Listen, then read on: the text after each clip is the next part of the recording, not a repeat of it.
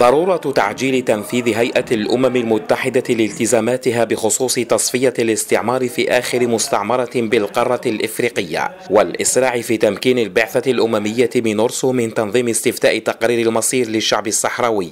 هو ما شدد عليه الرئيس الصحراوي إبراهيم غالي خلال اختتام أشغال الطبعة الثانية عشر من الجامعة الصيفية لإطارات جبهة البوليزاريو والجمهورية الصحراوية.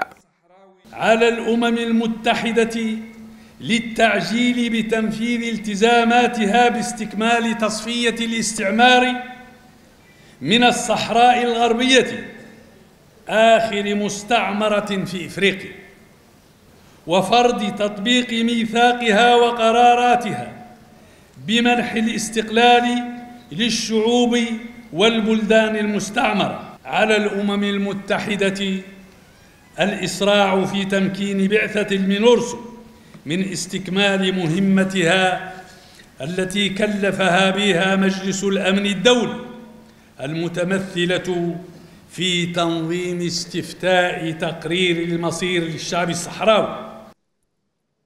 الأمين العام لجبهة البوليزاريو دعا الاتحاد الإفريقي إلى ضرورة فرض التطبيق الصارم لمبادئ وأهداف قانونه التأسيسي خاصة ما تعلق باحترام الحدود الموروثة عند نيل الاستقلال. في حين طالب الاتحاد الأوروبي وإسبانيا بالامتناع عن توقيع أي اتفاق يمس الأراضي الصحراوية مع المحتل المغربي.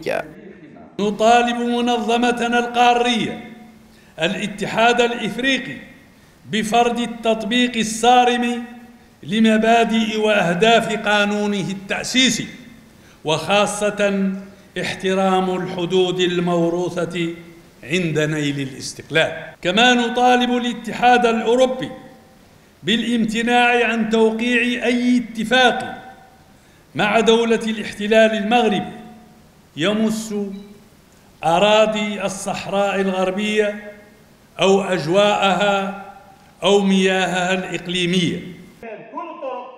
الطبعة الثانية عشر للجامعة الصيفية شهدت هذه السنة وعلى مدار عشرة أيام تسليط الضوء على مواضيع حساسة على غرار الحاجة إلى إعادة تأصيل مفهوم تقرير المصير وتطبيقه بالنسبة للقضية الصحراوية فضلا عن الأمن السبراني وأساليب وطرق مواجهة الدعاية والحرب النفسية.